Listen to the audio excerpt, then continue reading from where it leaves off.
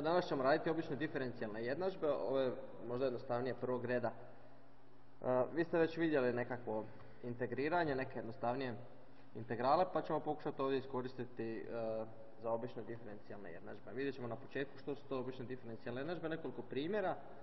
Možda vam bude zanimljiv ovaj model potonuća broda, možda odustanete od ovog zanimanja, možda se još više ovaj, zaljubite u njega, ako volite vodu i podmorje. I, i na kraju ćemo opet završiti nekim uh, sažetkom, reći vam ispitno pitanje i, i to je više manje to za danas. Ajmo vidjeti. Dakle, ovo je nekakav primjer, primjer koji e, bi sad već znali riješiti. Dakle, tu imam nekakav neodređeni integral, imate svi one e, obrazce na kojima su dane tablice integrala i uz pomoć tablice integrala bi se ovaj tu integral e, dao riješiti. To ide preko arkus tangensa, e, to vam je negdje u sredini tablica, e, negdje prva ja mislim gore u sredini tablice. Dobro, ali možemo to gledati na drugi način, ovaj isti zadatak. Dakle, tu je zadan neodređeni integral, ja u principu tražim primitivnu funkciju od ove podintegralne funkcije. Integral je zapravo integral čine, neodređena integral čine sve primitivne funkcije od ove podintegralne funkcije. Dakle, ja tražim koju funkciju treba derivirati, pa da dobijem ovo 2 kroz x na kvadrat plus 3. To je zapravo tu pitanje. Dakle, ja bih mogao ovaj, postaviti ovaj isti problem na način da zapišemo ovu tu jednadžbu. f crtica od x jednako 2 kroz x na kvadrat plus 3, to je nekakva jednadžba. Nepoznanica je f, i dana je tu na neki način jednadžba. Kad f derivira moram dobiti ovu desnu stranu. U terminima ovih običnih diferencijalnih jednadžbi, ja ću pisati ODJ, obične diferencijalne jednadžbe, e, možemo na drugi način zapisati, dakle, umjesto f, ja ću pisati y, y kao nepoznanica. I onda imam y crtica, to znači kad deriviram tu nepoznanicu y, ja trebam dobiti 2 kroz x na kvadrat plus 3, a podrazumijeva se da onda y ovisi o x, o toj varijabli. Dakle, ovo u terminima ovdje će se obično zapisati ovako y crtica. Vidite, taj y crtica odmah podrazumijeva da je to neka funkcija. dobro, i naravno onda ako je zadan takav zadatak, ovaj ovdje, onda ćete ga riješiti integriranjem. Reći ćete, ako je derivacija 2 kroz x na kvadrat plus 3, onda ako integriram derivaciju, ako integriram derivaciju, dobit ću funkciju. To vam je isto u obrazcima, u tablicama, e, s desne strane imate istaknutu jednu formulu gdje piše da e, ako integrate derivaciju dobijete funkciju, ako derivirate integral dobijete opet funkciju. Sjetite se, prošli put smo rekli integracija je antiderivacija. Dakle, ako integrirate na derivaciju, vraćate se natrag na polaznu funkciju. Kao da antiderivirate derivaciju pa se vraćate natrag na polaznu funkciju. Dakle, integracija i derivacija su na neki način e, inverzne operacije. Ako derivirate integral, kao da derivirate antiderivaciju, vraćate se na polazno. Dakle, ajmo reći da je deriviranje korak naprijed, a integracija korak natrag. Dobro, dakle, iz ove tu jednadžbe u kojoj je dana derivacija mogu otkriti koja je, e, koja je funkcija y. Integriram y, crtica i dobit ću y. Dobro, dakle, ako ovdje integriram y crtica, ako integriram ovo tu je y crtica, dobit ću y, evo integral je baš ovaj ovdje, poslužimo se e, poslužimo se ovim tablicama e, na obrazcu. To je dakle preko arku Dobro. E, evo jedan drugi primjer, možda malo više iz stvarnog svijeta. Ovo je primjer gdje promatramo provođenje topline preko nekakve e, toplinske barijere. U sredini vam je dan, vam reći neki zid, nekakva barijera, s lijeve strane e, je vanjsko područje u kojem je temperatura zadana, možete na primjer mjeriti termometrom, a unutra imate e, temperaturu koja onda dakle zavisi o ovoj vanjskoj temperaturi. Zamislite recimo da, da kuću ne grijete, kako se mijenja vanjska temperatura, neko će se mijenjati unutarnja temperatura, vjerojatno će trebati neko vrijeme da hladnoća izvani prodre u kuću ili da toplina izvani prodre u kuću preko ovog sloja izolacije. O čemu ovisi brzina e, pritjecanja topline u kuću ili hladnoće u kuću? Ovisi o nekakvoj e, provodnosti ovog, e, ove stjenke. Reći ćemo o konduktivitetu te stjenke. Ako izolirate jače, bit će manji konduktivitet, a ako izolirate slabije, bit će veći konduktivitet. I ovisi također o razlici između temperatura. E, što je temperatura, temperaturna razlika veća, to će se brže uspostavljati e, ravnoteža. Dakle, to će se brže mijenjati ova temperatura unutra. Ako imate malu temperaturnu razliku, onda će se blago mijenjati i polagano će se mijenjati ova unutarnja temperatura. E, dobro. Dakle, to su, to su dvije stvari. Pa ćemo ovako zapisati kao da dakle, ovaj protok topline izvane prema unutra ovisi, stavit ćemo proporcionalan je, ova tu mala tilda, sa K, to će nam biti taj konduktivitet, i sa umnoškom K puta razlike između temperatura van i unutra, TV minus TU. Taj protok e, topline, e, što je taj protok topline veći, to će mi se brže mijenjati ova unutarnja temperatura. Promjena neke veličine, promjena funkcije je derivacija. Dakle, sjećate se možda kad smo radili derivaciju, imali smo brzinu kao derivaciju položaja. Ovdje imamo, dakle, brzinu promjene temperature unutra kao derivaciju temperature unutra. Dakle, mogu pisati temperatura unutra crtica, dakle, derivacija temperature unutra je nekako povezana sa konduktivitetom i sa razlikom između temperatura. Evo, tu sam zadao, pokazat će se diferencijalnu jednadžbu, stavio sam dtu po dt, dakle, ovo je tu je tu crtica od t, dakle, derivacija unutarnje temperature po vremenu je jednako neka konstanta puta, uh, puta ova razlika između temperatura. To je moja pretpostavka, naravno, zavisno, to je neka fizikalni model koji je više ili manje odgovara stvarnosti, ali ako je on takav, mi ćemo ga moći matematički uh, riješiti. Um, dobro, dakle, umjesto uh, dt po du možemo pisati crticu. du crtica, i možemo označiti posebno ovisnost o vremenu. Dakle, ovdje smo dodali argument t, tako da točno vidimo da je riječ o funkciji vremena. Na drugi način, osobito kad je u pitanju promjena veličine po vremenu, u fizici često pišemo ovom točkom iznad derivacija. Dakle, t u točka iznad znači da je to derivacija te funkcije po vremenu. Vremenska derivacija. Samo da vidite različite zapise, ne znam kakav će vam zapis biti kasnije u praksi, da se znate snaći. Ovdje smo naravno prebacili s desne strane je pisalo e,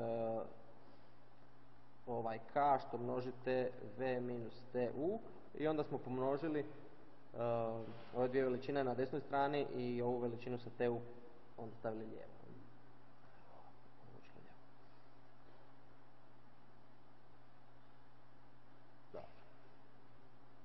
Ovdje ćemo dati definiciju obične diferencijalne jednadžbe, prvo na jednom intuitivnom nivou. Dakle, u prethodnim primjerama ste vidjeli različite e, primjere u kojima se javlja nekakva jednadžba. U toj jednadžbi je dana funkcija koja je nepoznata, koju želimo odrediti i također se u jednadžbi javlja i derivacija te nepoznate funkcije. I još neke poznate veličine. E, pa takva jednadžba u kojoj se javlja prva derivacija nepoznate funkcije, sama nepoznata funkcija i još neke poznate veličine, naziva se obična diferencijalna jednadžba prvog reda. Ovdje u definiciji ćemo pisati, e, tu nepoznatu funkciju ćemo označavati sa y, njenu derivaciju sa y crtica, a ovaj parametar o kojem ovisi i ta nepoznata funkcija i eventualno drugi e, parametri u, i druge veličine u jednadžbi ćemo označiti sa x. Dakle, ako imamo jednadžbu, neku jednakost u kojem je zadana, e, koja se sastoji od izraza u kojem imamo y crtice, y i neke druge funkcije od x koje su poznate, na lijevoj i na desnoj strani, takva, takva jednadžba se naziva obična diferencijalna jednadžba prvog reda. Zašto prvog reda? Zato što se derivacija javlja točno jednom. Prva derivacija samo javlja. A ako budemo naišli, nailazili na derivacije drugog reda, dakle druge derivacije, onda će to biti obična diferencijalna jednadžba drugog reda. Važno je da zapamtite da je to diferencijalna jednadžba, zato se derivacije javljaju. I tu će nam, e, tu će nam biti nekako, za rješavanje ćemo koristiti integriranje. Isto kao u onom prvom primjeru gdje smo vidjeli najjednostavniji primjer gdje smo istraživali primitivnu funkciju. ovu običnu diferencijalnu jednadžbu uvijek ćemo moći zapisati na ovaj način. Dakle, nekakva funkcija, nekakva, dakle, neki, neki izraz koji u sebi uključuje x, y i y crtica. I uvijek ćemo moći sve s desnu stranu na nula, tako da, da ćemo općenito kad nam bude trebao zapis obične diferencijalne jednadžbe ovako pisati. Ili uvijek ćemo moći i derivaciju, zapravo najčešće ćemo moći derivaciju ostaviti na lijevoj strani, derivaciju ove funkcije, a ostatak prebaciti na desnu stranu. Onda bi to bio ovakav oblik. Dakle, ako stavim y crtica na jednoj strani, a sve ostalo prebacim na drugu stranu, onda je to ovakav oblik. Evo pokazat ću vam kako možemo doći do tih oblika. Recimo u ovom primjeru koji smo imali, u prvom primjeru, gdje rješavamo ovakvu običnu diferencijalnu jednadžbu, y f crtica je jednako 2 kroz x na kvadrat plus 3. Ako želimo prebaciti u ovaj oblik, onda naravno naša nepoznanicu ćemo označiti sa y, njenu derivaciju s y crtica. Tako da ćemo prevesti ovu jednadžbu u ovu dolje. Dakle, samo smo zamijenili ime nepoznanicu. Umjesto f pišemo y. Dobro. I sad bi ja želio dobiti sve na lijevoj strani, a na desnoj strani nulu. Pa onda jednostavno prebacimo ovo što je na desnoj strani na lijevo i dobijem y crtica minus 2 kroz x na kvadrat plus 3 jednako je 0. Da li mi to odgovara ovom ovdje obliku? Da li mogu naći neku funkciju f veliko, pa kad u nju uvrstim x, y, y crtica da postane ovaj ovdje izraz. Pa prvi argument a prvi argument e, x će se javljati ovako minus 2 kroz x na kvadrat plus 3, a ovaj zadnji argument će tu doći s prijeda. Pa dobro, onda ću napraviti ovakvu skalarnu funkciju. Dakle, skalarna funkcija od tri argumenta. E, prvi argument će se javiti u 2 kroz prvi argument na kvadrat plus 3 sa minus preznakom pribrojnik, a zadnji argument će se javiti kao na početku pribrojnik. Pogledajte što se dogodi kad u ovu ovdje funkciju uvrstim za prvi argument x, za drugi argument y, za treći argument y crtica. Dobijemo upravo ovo tu, jel tako?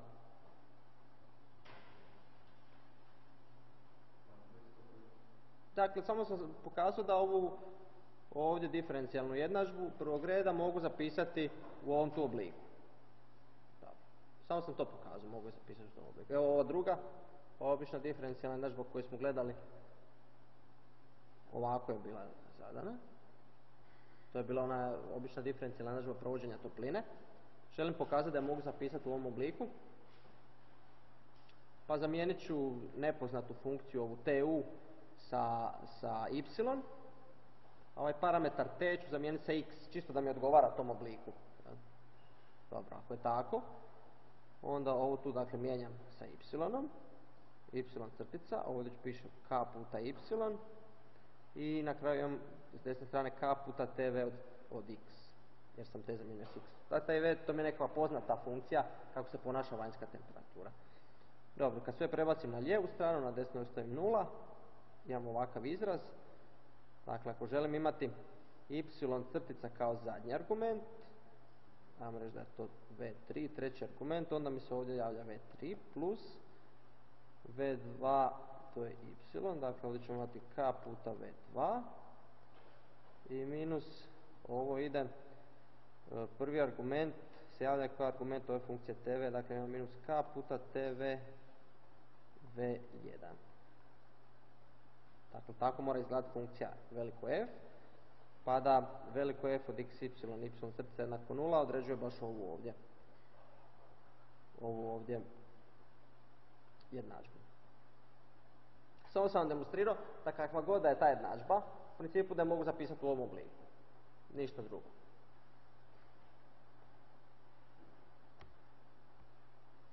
Dobro. Dakle, imamo taj oblik gdje je funkcija e, tri argumenta, funkcija veliko f od tri argumenta, zadaje nam e, običnu diferencijalnu jednadžbu. U te argumente funkcije moramo moći unijeti, u argumente ove funkcije veliko f, moramo moći unijeti funkcije. Dakle, nije dovoljno da u veliko f mogu unijeti tri broja, x1, x2, x3, nego moramo moći unijeti funkciju na prvi argument, funkciju na drugi argument i funkciju na treći argument.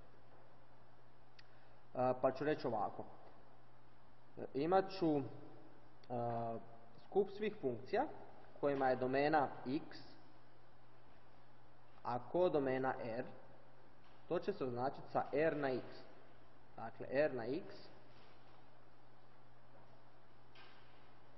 je skup svih funkcija f sa domenom x, a kodomenom r.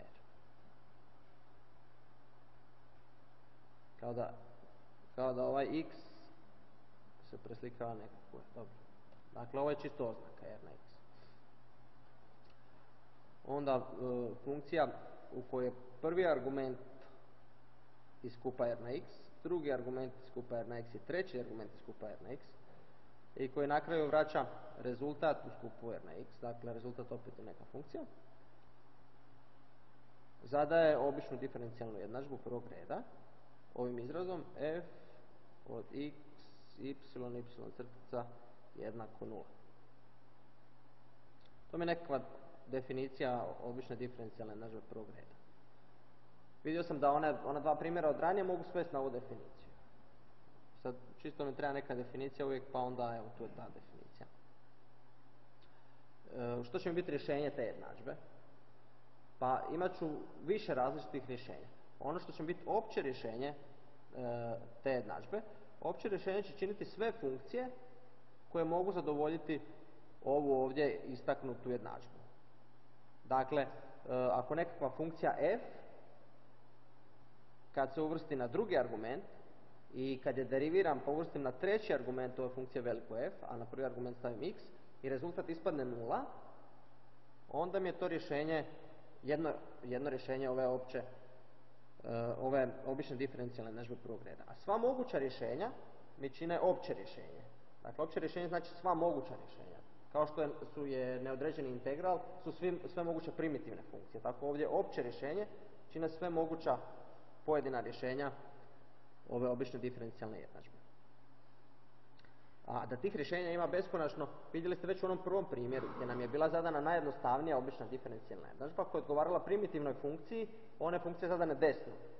2 kroz x na kvadrat plus 3. I takvih primitivnih funkcija ima beskonačno. Sve se razlikuju za konstantu. Dobro.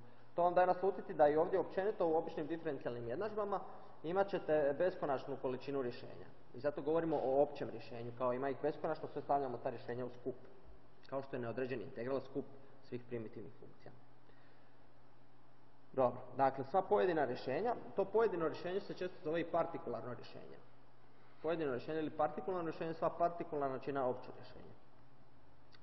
Ehm,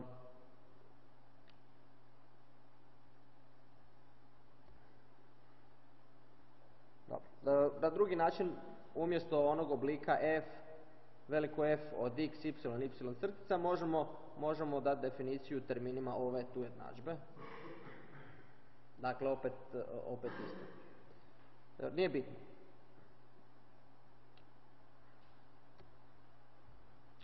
Evo, ajmo vratiti na primjer pa ponoviti na ovom primjeru. Dakle, imamo ovu običnu diferencijalnu jednadžbu. y crtica jednako je 2 kroz x na kvadrat plus 3.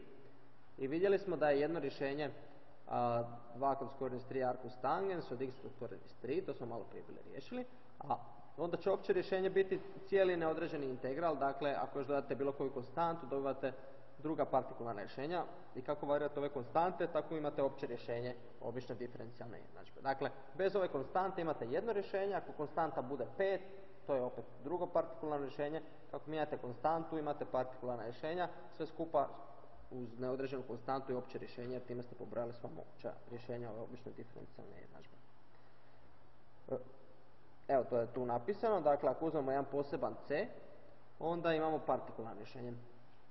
Pa ćemo mi zadati još jedan uvjet, još jedan mali uvjet uz ovu jednadžbu, koji će nam specificirati e, točno određeno rješenje. Dakle, mi ćemo tražiti zadovoljenja ove obične diferencijalne jednadžbe koja je dana tu, uz još dodatan uvjet da kad u tu funkciju y uvrstimo nula da je argument 1.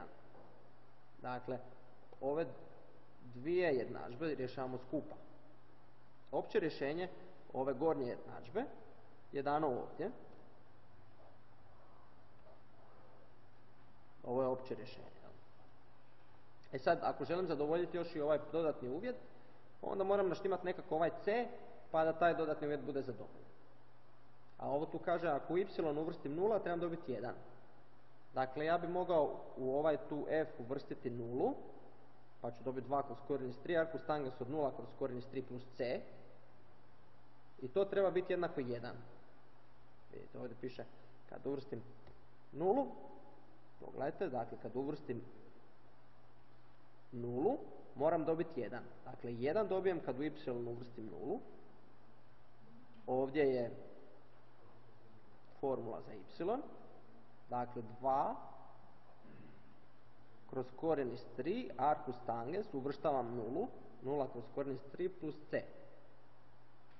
Arkus tangens od 0 je 0, dakle preostaje samo c. I onda je c jednako 1.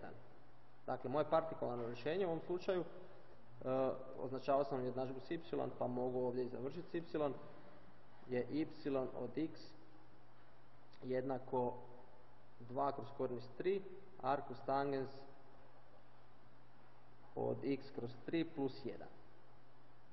Ako ovdje uvrstim nulu, možemo još jednom provjeriti. Imamo 2 kroz korijen iz 3, arkus tangens od 0. To je 0 plus 1 je 1, doista zadovoljeno je. Ovaj tu uvjet je zadovoljen. Dakle, obično iz opće, e, iz obične diferencijalne jednadžbe dobijemo jedno partikularno rješenje ako zadamo još jedan uvjet. Još jedan uvjet. Dobro. Evo ovdje smo istakli ovu činjenicu. Ova obična diferencijalna jednadžba tipa y crtica jednako je neka funkcija poznata od x može se riješiti, njeno opće rješenje je dano s ovim neodređenim integralom, samo integriram. A ako želim e, neko još e, partikularno rješenje točno dobiti, mogu ga dobiti tako da uzmem dvije konstante a i b i tražim još ovaj dodatni uvjet. Dakle, želim nepoznata funkcija od nekog argumenta jednako je neka vrijednost. Na neki način uz to mogu dobiti partikularno rješenje kao u prethodnom primjeru. Ovaj tu uvjet se naziva početni ili rubni uvjet. Početni ili rubni uvjet. Zašto početni uvjet? Recimo ako vam je ovaj, ovaj parametar vrijeme, vi zadajete što se događa u početnom trenutku s funkcijom. Recimo ako imate promjenu temperature po vremenu, vi možete specificirati koja je temperatura unutra u trenutku nula. I stavite recimo temperatura u trenutku nula na početku mjerenja, na početku promatranja je 10 stupnjeva Celzijevih. Ajmo sad vidjeti što se događa onda uz pomoć ove obične diferencijalne jednadžbe, koje je to partikularno rješenje, što se točno događa uh, sa temperaturom unutra. A zašto rubni uvjet?